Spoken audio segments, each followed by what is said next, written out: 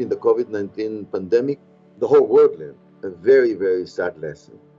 The sad lesson is that in those high demanding events where we have a crucial need of lots of health professionals in a specific environment, in this case, intensive care, ventilators, we never have enough people.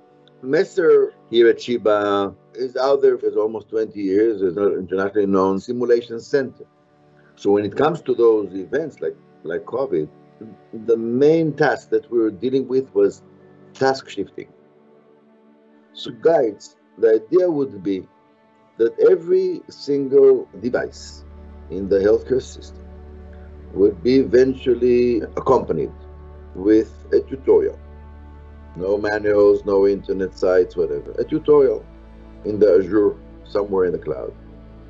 And this is the way we used it here at Sheba It's very beneficial to use guides in this kind of times because if you know that tomorrow you have to go to the ICU and it's your first shift there and you don't know what to do and you don't have time and maybe you're afraid to say that you don't know how to operate a device, it's easy, you can use guides and learn by yourself how to do it.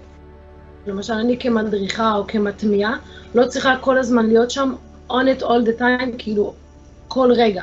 היא יכולה לבצע את זה בעצמה, ואז אחר כך אפילו לשאול שאלות ולחזור אליי, אבל אז זה אומר שאני יכולה לעשות, אני כמדריכה למשל, יכולה לעשות עוד דברים מחוץ מזה שהיא מתרגלת.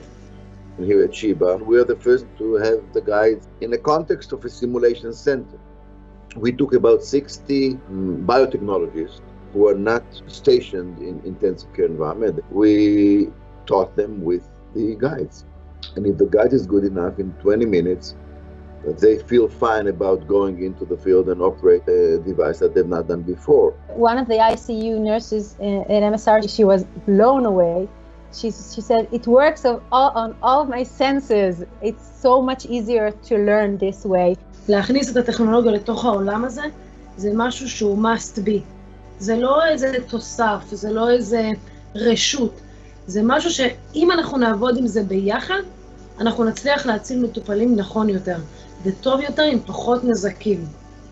Today, I think the whole world is humbled with the fact that the civilian, you know, infectious disease crisis is is something that unites the world. It's something that we can really improve our ability to do task shifting, mass task shifting.